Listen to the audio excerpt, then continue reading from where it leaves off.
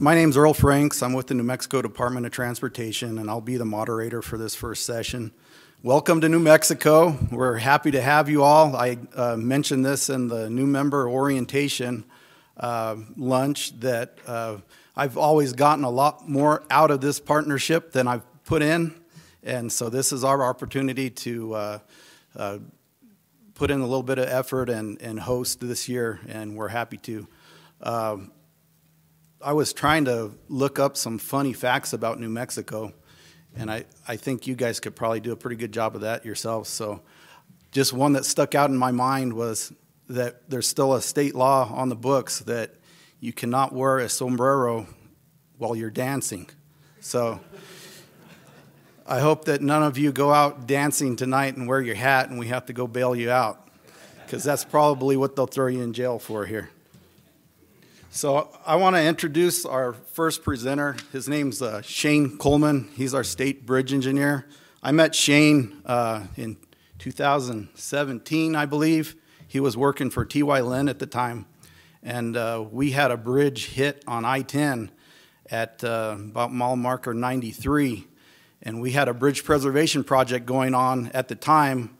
Uh, two like uh, two sets of twin bridges. There were continuous uh, conventionally reinforced concrete slab deck bridges, and uh, we had a contractor that had traffic crossed over from the uh, westbound lanes to where all the traffic was on the eastbound lanes because we were replacing approach slabs, and uh, a commercial vehicle got hung up on the guardrail and uh, slammed into a grade separation between the two sets of twin bridges and uh, it, it, was a two column concrete uh, pier system. And, and we, we've actually had one of those come completely down getting hit before, way before my time, uh, and it pretty severely damaged the column. So our guys that are uh, the District 1 bridge section structure crew is over in that corner. They were up uh, the entire night because we had interstate traffic stopped and they were implementing a, a shoring plan there so that we could get uh, traffic back underneath the bridge. Uh, and the following day, I believe, our state bridge engineer brought Shane out. Uh, we had them on an on-call contract, and uh, we're able to use them to to put a design together in pretty short order to fix it. And we actually did a change order on that project and had the bridge contractor that was doing the preservation work uh, tackle that job. And we also took the opportunity to do some more bridge main, uh, preservation on, on that bridge. So uh, Shane is a New Mexico State Aggie. He's a, a great engineer. He, uh, he uh, has done some great things in his time as state bridge engineer. He's uh, restructured his group to uh, take better care of our, our precast product inspection.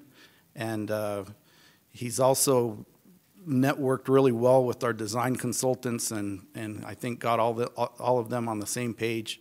So I'll turn it over to Shane.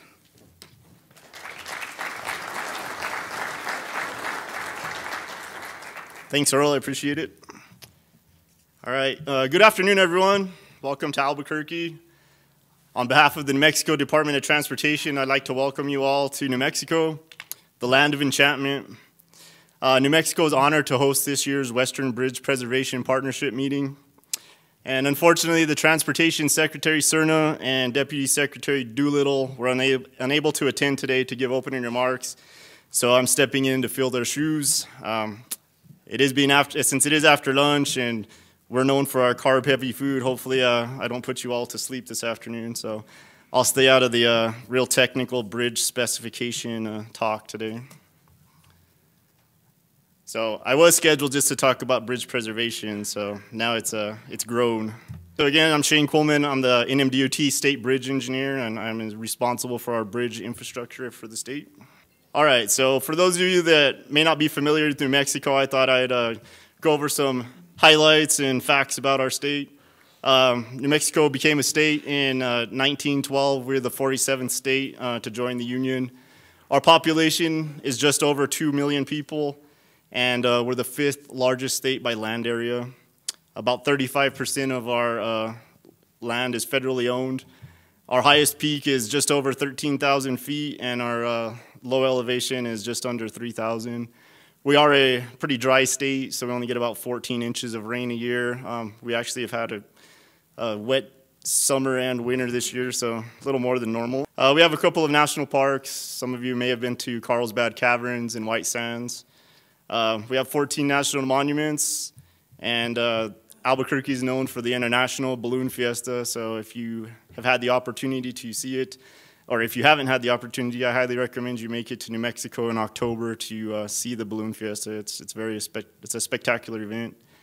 Uh, Santa Fe is known for the Native American market and a lot of history there, uh, being one of the oldest capitals in the United States.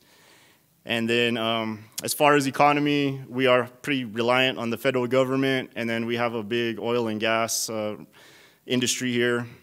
Also, I listed a few more of the types of industry we have. We have national labs, some Air Force bases.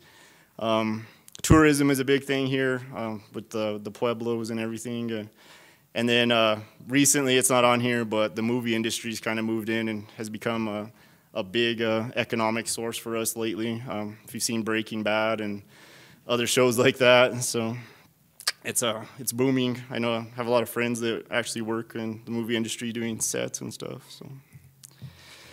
So since I was asked to do the opening remarks for the department, I went on our website to get our mission statement and, and kind of what the DOT is about. And I have it listed here, but um, I'm always reminded when I see this of what the uh, secretary said when I first joined the DOT about 12 years ago. And uh, at the time, the secretary was Mrs. Rhonda Faught, and she talked about how important our jobs were with the department as far as the impact to not only our state but also to the country.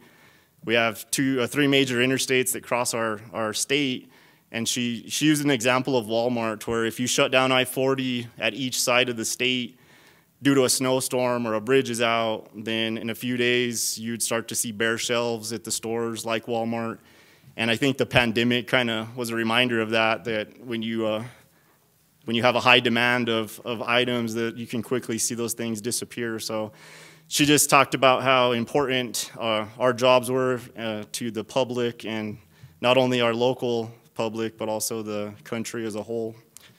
Um, I also included a picture of our state bird, the roadrunner. Um, they're pretty cool creatures. I didn't realize how feisty they were, and I saw a video of one actually fighting with a rattlesnake, and and it won. So don't want to mess with them. Uh, here's a map of our, our state. So the NMDOT is broken down into six districts, as shown on the screen. They're not equal in, in area, but um, pretty distributed. For bridge-wise, they're all pretty equal. Um, we have a heavy concentration in District 3 with our, uh, since it's our major metropolitan area. Um, and then our general office, where the engineers and the infrastructure support are at, uh, and the Bridge Bureau is in Santa Fe, New Mexico. So with that, um, since I was asked to do the opening remarks for a bridge preservation conference, um, I had the opportunity to do a presentation on the history of New Mexico's bridges last year at WASHTO. So I thought for an intro, since we're talking about preservation, it'd be good to know the, the history of what we're trying to preserve and what we're dealing with. Um, so this graphic kind of shows uh, a breakdown by decade of when our bridges were built in our current inventory. So it starts in the early 1900s and goes through till current time. And as you can see, in the early 1900s, there wasn't a lot of bridges constructed, but then it started to increase in the 30s and 40s, and then we had a big boom in the 50s and 60s. And our average age of bridge in New Mexico is just over 50 years. I think it's around 54 actually. So as I go through the history of bridges, this uh, graphic will it'll tie into that history and make more sense.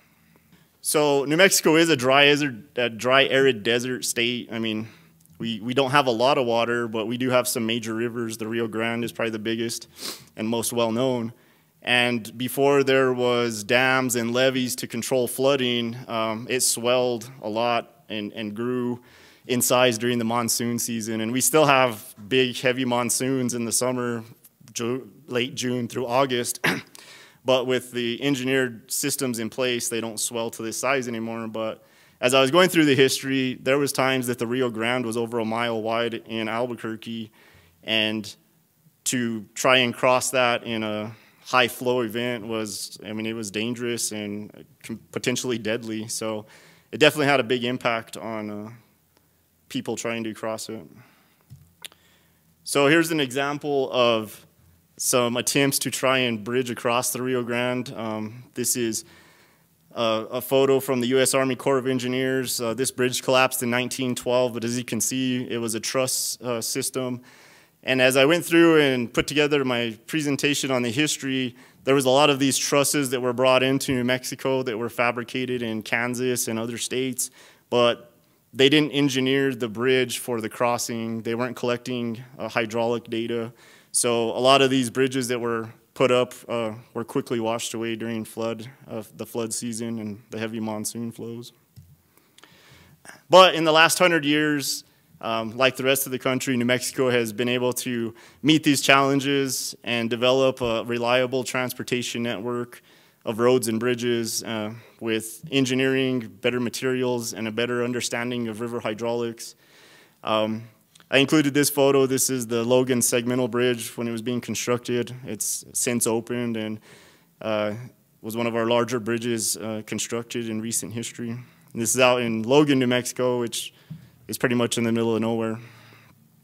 But it carries uh, US 54 traffic, which is one of the main, main routes for the trucking industry from Chicago to El Paso. So um, you can kind of break the bridge history for the state down into these time periods, uh, starting at the prehistoric and colonial era, which was the late 1500s through the mid 1800s. And then when we transitioned to more of a territory, that was the mid 1800s through early 1900s, and then early statehood. And there was a big shift there uh, for the state when we, be, when we became a state as far as infrastructure and then the 30s and 40s uh, with the work programs during the Depression, and then war shortages due to World War II. And then if you think back to that graph, that's where you start seeing the bridges increase in the 30s and 40s. And then in the 50s, when you had that spike, was when the interstate system uh, started to be constructed. And then the last era is from the 60s till now. So like most western states, our primary bridge types are timber bridges, steel bridges, reinforced concrete, and then pre-stressed bridges. And we do have some timber bridges in service that are over 100 years old, and uh, they're still in our inventory.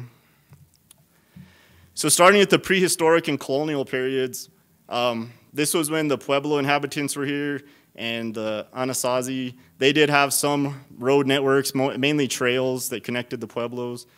Uh, and then after that, it kind of transitioned to when you had the Spanish and Mexican colonial uh, rule here, and they started to build more road systems uh, that concentrated on trade routes. Uh, two of our more well-known trade routes are the Camino Real Trail and then the Santa Fe Trail. And these were fragmented systems that um, they weren't all clearly connected, and, and there were some attempts to build bridges, but nothing that really stood up and, and was able to cross the major rivers like the Rio Grande and the Rio Puerco, and those are those rivers listed there in red. Uh, and then towards the early to mid 1800s, that's when uh, Spanish uh, and Mexican uh, rule was present in New Mexico, and they tried to uh, increase the trade route, and there was a lot of trade going through, but they really didn't make any progress as far as bridge construction. Or, the most reliable method to cross rivers was at the uh, was to ford it, which again, when you're dealing with flooding and monsoon events, is problematic. So here's some examples of the types of bridges that were built during this time frame. As you can see, they're just simple timber structures. Um, the one in the right shows some timber uh, piers that were constructed uh, at the Rio Grande with just a simple timber superstructure. And then the, the bottom middle photo is the Santa Fe Trail at Apache Canyon. The date I have here is um, 1835. Um, a historian that was at WASHTO actually told me that he thinks that date might be off, but this is from UNM, so I'll just leave it at that. After the, when we move into the territorial period, This was basically from like before the Civil War to just before New Mexico became a state. Roads and bridges were primarily handled by local governments or counties. Um, again, there was no engineering. There wasn't a, a source for funding to build and, and, make better bridges and roads, and the routes were really disconnected. Um, with the Civil War, there was an increased military presence in New Mexico. Uh, there were several forts that were established. There was the famous battle at Glorieta Pass. So uh, again, there was some road construction uh, just for the for the war effort, but there was not any funding from the federal government. It was a hands-off approach as far as roads and bridges. And again, the types of bridges were primarily timber with closely spaced supports and shallow superstructures. So the ones that were uh, constructed typically overtopped, uh, had debris build up and washed away. So there's not a lot of history or those bridges left now. And then as we move to the later end of the territorial period, there was starting to be an uptick of public pressure for better roads and and a commission was established and then there was some counties that were gathering taxes and collecting money to try and make a, a better infrastructure network. So one of the big things that spurred the development and progress of roads and bridges, primarily in New Mexico, was around 1880 or 1879. That's when the railroad uh, moved into New Mexico. And with railroad came engineering. They were building stronger bridges. They were building them taller, getting them out of the floodplains. And they were building uh, bridges on more robust foundations. Uh, they started using new materials uh, instead of just timber. They were using masonry and iron, steel. And then the timber they were using for foundations were multi-tiered uh, foundation structures. And then you started to see more scientific planning or engineering and design uh, being put into the bridges. And then uh, hydraulics were being studied. So they started putting stream gauges to get flow data for design and construction. And also the railroad introduced concrete culverts.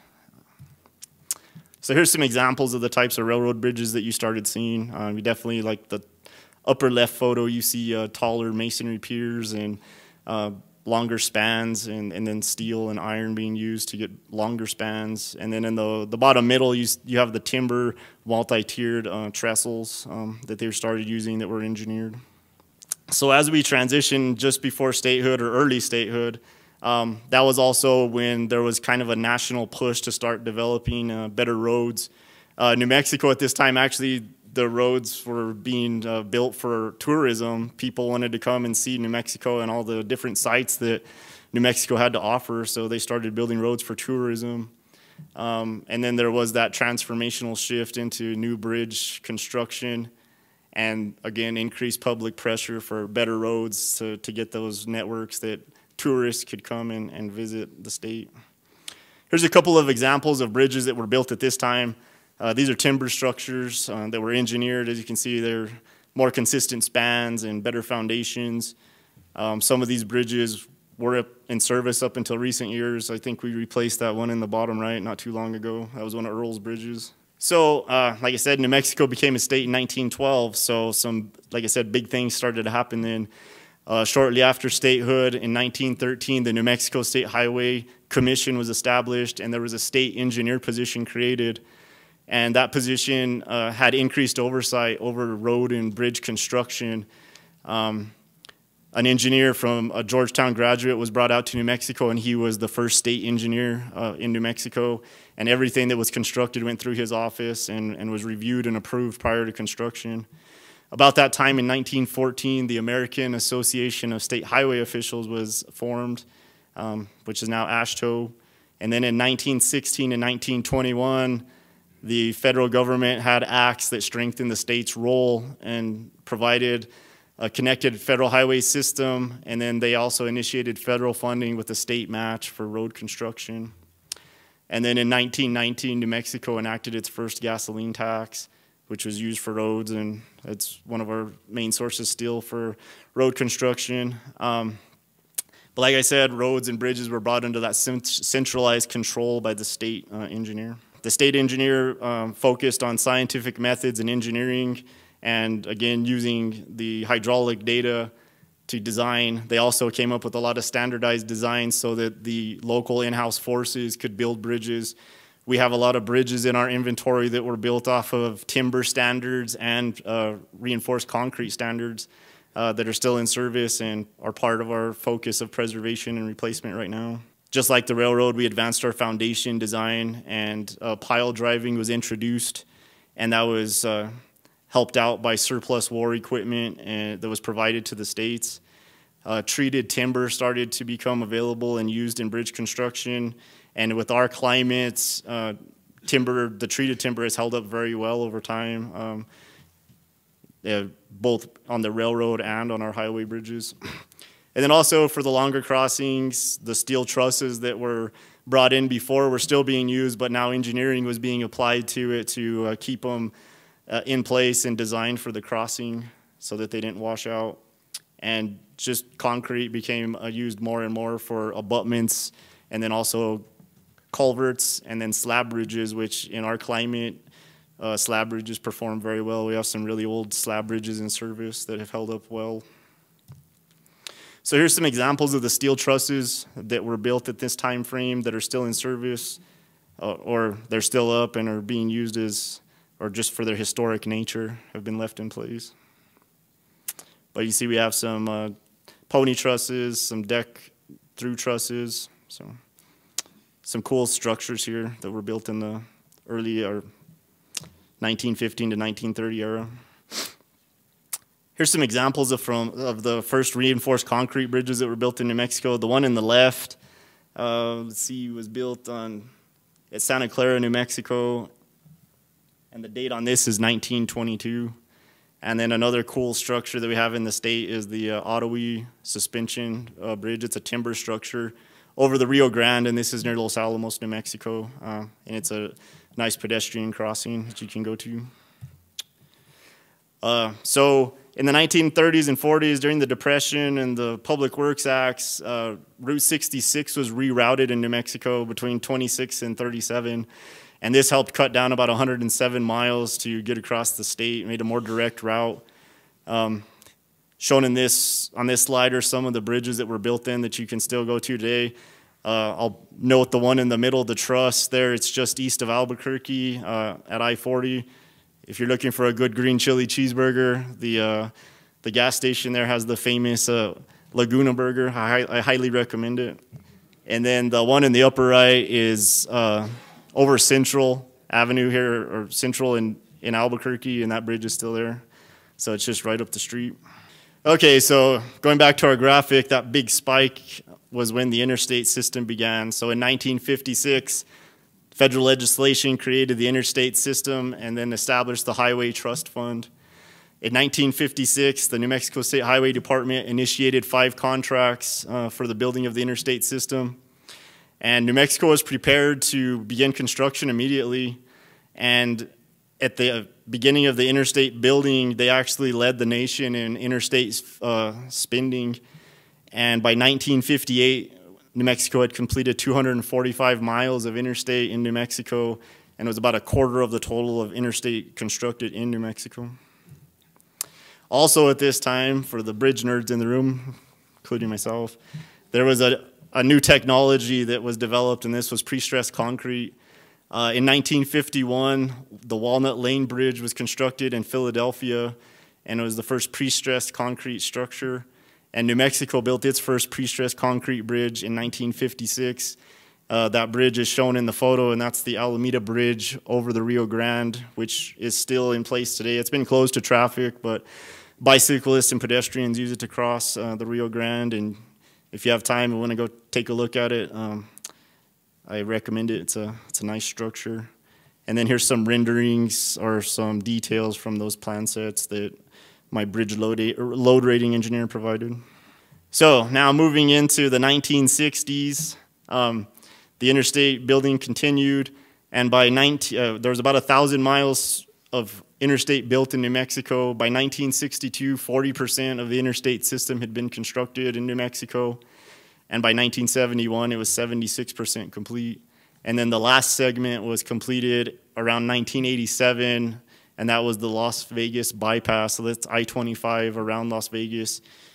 So um, New Mexico did a good job uh, building interstate and spending those funds. Here's some examples of bridges that were constructed uh, with the interstate building. In the left is I-40 twin bridges uh, over the Rio Grande. Um, those are uh, up the road. They've been widened over time, but uh, those are the, uh, the first bridges that were constructed there. In the middle photo is I-25 over Alamosa Canyon. Uh, those bridges were actually replaced a few years ago. And in the upper right is I-25 over Nogal Canyon, and that bridge is still in service. It's currently being studied, and uh, design plans are being put together for its replacement here in the coming years.